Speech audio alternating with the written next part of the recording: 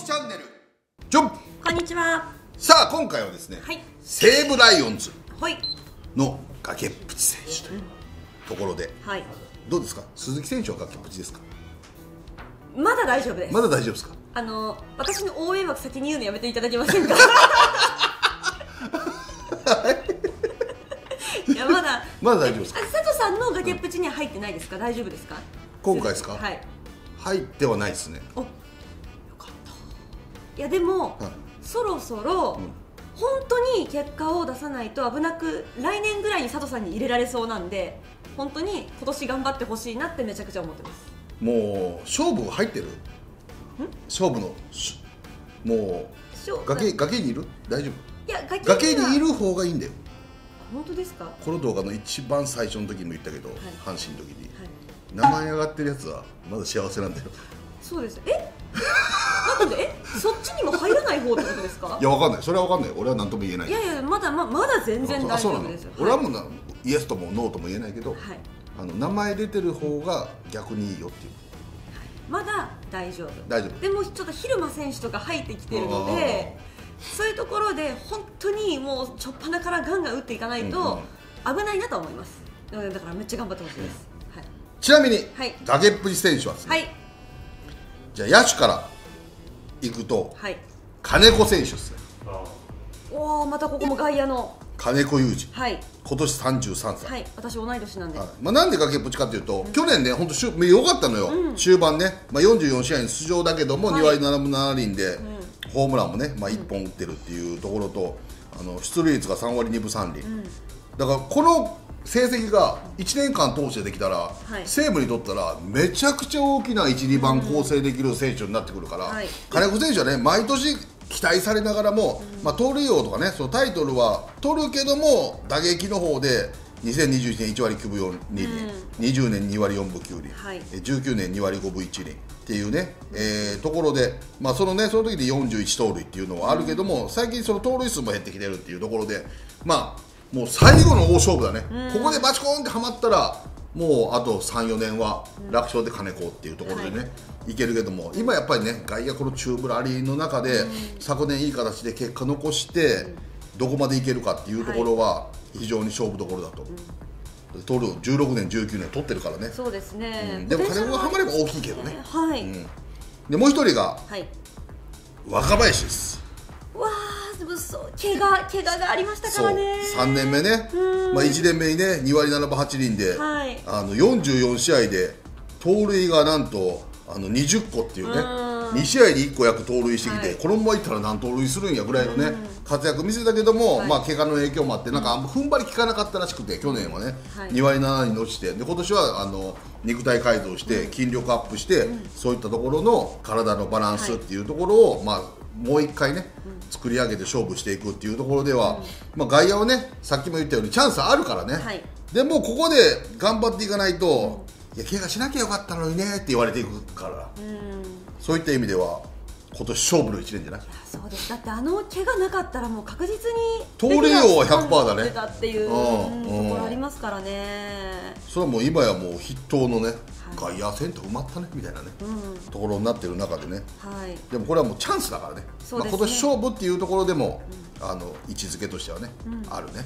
外野はもう誰がいち早く掴むかってところですもんね。そうそうそうそうそうそうそう。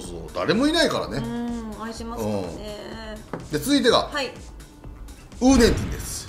ウーネンティン選手去年結構いい活躍していや一昨年がねあの山川殿崎が怪我していなくなってでそこで存在感ねはい。発揮してあの頑張ったけども、うん。ホームラン10本2桁打ってね、うん。去年、まあ、打率がちょっとね常に低いんだけどもまあ、去年ホームラン5本になって、ん。っていうところではねまあサードでね、まあ、おかわり君がずっと出れないっていうところでサードっていうところも行くかもしれないけど、まあ、外国人も入ってきたしね、そこら辺でどうなるかっていうところはあるけどもちょっと勝負だねこう山川選手とかがそういう大砲系の方がいない時に、うん。こうチームを守るって意味ではすごくねいい活躍しましたけどねいるってなったらなかなか枠がなくなっちゃいますよね。ここでね、もう一踏ん張りできるかどうかがね、うん。まあでもその2番手っていうところで考えたら、あの層が厚くなるから、はい。い、い選手だと思うけども、レギュラーで主スタメンでしょって考えた時にちょっと今年は勝負になると思うね、はい。その1軍から外れることは多分ないと思うけども、そのレギュラーでスターティングラインナップに直すられて頑張れるかっていうところでは今年ちょっと勝負になってくるんちゃうかなっていうね、はい。ところはあると思うんですね、はい。次、はい。ピッチャー、長薬ですほうまあそのね人的保障でね、はい。あの西武に来て。そうですね、でまあ平が前に行って、まあでもそこにはね本田とか水上とかね、はい。あのまあ佐々木でまあ増田、うん。森脇っていうところのねリリーフが厚いけども、あとあの某高橋ね、はいでもその前の枠でいけるとチャンスあると思うんだよね、うんうん。その前の56回とかのね、はい。でまあ球に力あるから、まあ、ストライク先行で勝負できたらいいピッチングするんだけど、制球が定まるかどうかだけだけども、まあ、ここでねやっぱりってなっちゃうと本当にチャンスなくなっていくから、はい。あのその最初のね出だしっていうところが勝負どころだね、でブーメンティンと一緒の台湾だからね。はい。ここら辺のコミュニケーションね。環境も変わったらね、うん。まあ、あの取りやすいと思うから、まあ、そこら辺でね、はい。ちょっとねいける可能性はあるけども、この移籍1年目は勝負だね。そうですね、ん。まだ求められてるってことそうそうそう、ですからねうまくはまればね、非常にいい場所も作れて、一気にねブレイクっていうところも考えられるかなっていうね。で続いてはね、はい。えー隅田投手です。え？崖っぷちに入れます？2入れます。年目ですよまだ。いや入るでしょ十分。資2年格は目ですよ。資格は十分あります。崖っぷちに入れる資格はある？ある。2年目で。は 別に崖っぷちにいるだけでい。別にタワマンになる可能性もあるからね。あまあまあそうか。崖っぷちにいるだけだ。あそうか。まあ崖っぷちの意味はもう今年頑張んないとクビだよって意味ではないですよね。ないのそうそう。今年頑張らなきゃ勝負だよっていう意味だか今年が勝負の年だよってことですらだねからまあ昨年ね16試合登板して1勝10敗ね、はい。まあその前半ね援護点あれば勝ってたのにっていうところはあるけども、まあこうやって1年間ね、あのこう先発として経験できたわけじゃんね。はい。万が一今年も同じような成績だと諦められちゃうのよ。もしくはまた左取ってこられるのよ。あだからこんなもんなのみたいな、んうん。だからいや昨年経験させてよかったみたいなね、って思われるように本人頑張って結果出さないとまた他から取られちゃうから、はい。そういった意味ではやっぱ勝負になると思う。期待されてるうちに頑張らないと、はい。期待選手はどんどん出てくるからね、新たに取ってくるしね。あはい。そういった意味では勝負の年になると思う。でも去年でだいぶメンタル鍛えられたんじゃないですか、まあ、そこそこいいピッチングしても点取れなくて負けちゃうっていうのがまあ最初の序盤続いてて、負け続けてもなんか立ち向かい続けるってなんかメンタルやたら鍛えられてるんじゃないかなって私は思ってます。でもメンタルじゃ勝てないからね。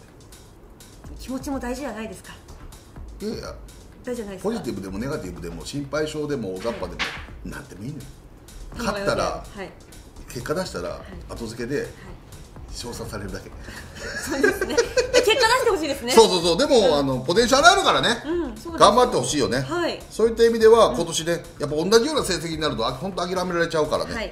やっぱ勝負の年として頑張っていかなきゃいけないんだっていうね、でもう一人がね、はい。えー、浜浜谷選手です。浜谷投手。うんでは浜谷投手がねはい。あの2019年のドラフト2位なわけ、うん。あの三菱日立パワーシステムからね、えー入って、あ2020年があ8試合先発してはい。3勝3敗、で昨年登板なし。はい。で21年がね1勝6敗、で隅田とか佐藤取られてるわけでしょ。そうですね。なこうなってくるわけよ。うん。これちょっとそうですね。だから隅田もね。はい。こうなってくるわけよ。そっか続けてうん。期待されて出して続けて結果出さないと、はい。取ってこられるわけよ。え去年はこれ1試合も投げてないっていうのは、うん。怪我とかではなく普通に出てないんですかね？うん、昨年は2軍で14試合に登板するも防御率5点台。そうかまあ2軍で投げてるわけですよね。そうそうそうそう。そっか。だから確かに。もう頑張んないと隅田、佐藤もいるしね、はい。そうなったら左ね。うんはい。どんどん出てくるわけじゃん。でエンスね左ピッチャーいるし、そしたらもうチャンスなくなるからね。はい。で今年4年目だから、まあ、はい。高卒社会人だから、3年目でプロ入ってくるこれてるから、はい。若い 1, 年大学行くよりも1年若く入ってこれてるから、そこのアドバンテージをこのね3年間で、うん。そこでやったことを今年出せるかどうかで勝負だよね。はい、うん、というそうだね、まあ、こういった選手だね。6人出しましたね、はい。で袴さんの袴田スコープ、まあ、鈴木翔平以外でそれがいやしかも私隅田投手も入れてたんですよ。まあまあでもそれは頑張り枠としていいんじゃない、はい。それ全然ね。はい、じゃあもう一人、うん。私渡辺裕太郎投手。おお笠間共栄はいあの5年目になるんですけど、まこれねいつだったか私もう一昨年ぐらいから、うんファンの皆さんもものすごい期待値が高いピッチャー。で、うんうん今年は来る今年は来るって言われつつもあ浦和学院だった浦和学院ですかうんなんか去年3試合しか投げてないんですよね。一昨年だから掴みかけてるんですよ、うん。で去年、うん。渡辺投手も絶対私は来るだろうと思いつつも3試合だったんで、うんうん。今年こそ出てきてほしいなっていうなんかそういう期待値です。今年何勝しますか？先発ローテーション入れそうですか？まあだってい先発ローテーションは今井はい。高橋光成うん。與座はい。平。うん。平投手もそう来ましたもんねでエンス。うん。それこそ松本。ああそうだ。今井。うわいるな結構。結構いるな。平井みたいな。うわこれで10勝とかちょっと言いにくいな。でももうそれはでも応援だからいいのよ。いやそうそうそうそう。別にね、うん。うんその応援枠だから。そうあそう裏学で甲子園出てるんですよね、でまだ22歳で、うん。ポテンシャルすごいあって1 9 1センチというね、んんん。いや私はまた今年頑張ってほしいなっていう、まあ、個人的な応援です。うん。まあでも出てきてほしいよね。うん本当もそう。ね地元だしね。はい。期待してるファンの方も多分結構いると思いますよ、あティノコもいるティノコ。キノコね。ティノコリリーフだけどね。多分リリーフだよね、はい。ティノコはね。キノコね、うん。うん。言いたくなっちゃいますよねキノコって。うんそうそうそうそうそう、はい、だね。私の応援枠です、うん。はい。まあそこら辺でもね、存在ずっと期待されてるからね、はい。もう5年目だからもうそろそろ出てきてほしいよね。いやそうなんですよ、うん。もうちょっと勝ってほしいなっていうところがありまあ、ます、でも今年は台風の目だと思ってるからね俺はい西武は、お言ってましたね、うん。まあでもあの最終的な順位予想何位になるか分かんないけども、はい。皆さんねどうですか西武